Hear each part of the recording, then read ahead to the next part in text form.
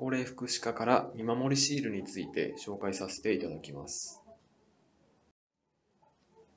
岐阜市では認知症の症状による行方不明者の早期発見、早期保護のため、見守りシールを無料で配布しております。見守りシールは対戦ラベルタイプと蓄光シールタイプの2種類を配布しており、ともに QR コードが印刷されております。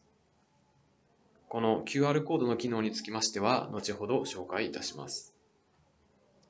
対戦ラベルはアイロンで衣服に貼り付けられるもので、蓄光シールはシールで杖などの持ち物に貼り付けることができるものです。それぞれ30枚と10枚の計40枚を無料で配布しております。こちらは見守りシールの利用イメージです。写真のように衣服や杖などの持ち物に貼り付けてご利用いただきます。見守りシールには QR コードが印刷されておりますが、スマートフォンで読み取ることでご家族と連絡を取ることができます。続いて、この QR コードを読み込んだ際の流れを紹介いたします。画面右側は発見者のスマートフォンの画面イメージです。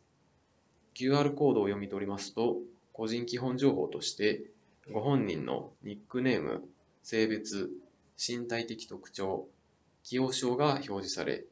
ご本人の情報を確認することができます。画面を下に送りますと、続いて、保護時に注意すべきことを確認することができます。右上に表示の通り、右耳が遠いので左耳に話しかけてください。など、ご本人と接する上で注意することを確認することができ、安全な保護に役立てることができます。さらに画面を下に送りますと、現在の居場所などの情報を入力する欄があります。現在の居場所、健康状態、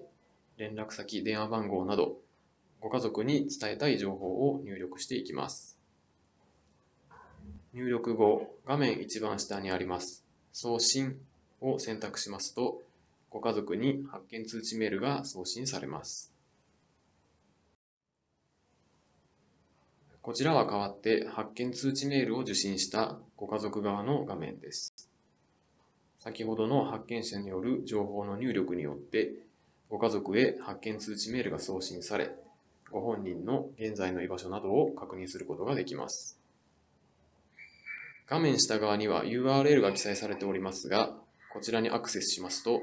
発見者と情報のやり取りを行うことができる伝言板、どこ知る伝言板にアクセスすることができます。こちらがどこ知る伝言板の画面です。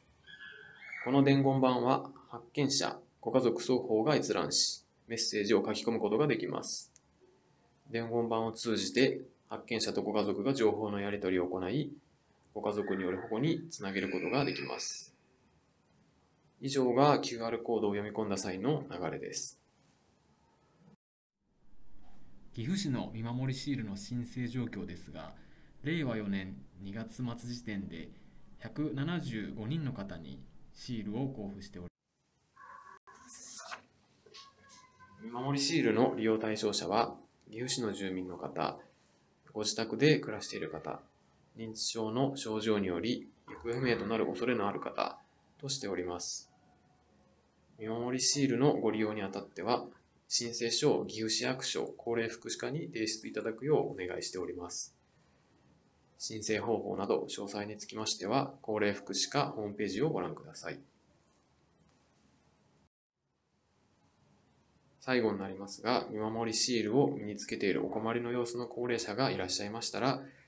声かけにご協力いただきますようお願いいたします。また、見守りシールの利用が必要と思われる方がいらっしゃいましたら、岐阜市高齢福祉課や岐阜市地域包括支援センターへ情報提供いただきますようお願いいたします。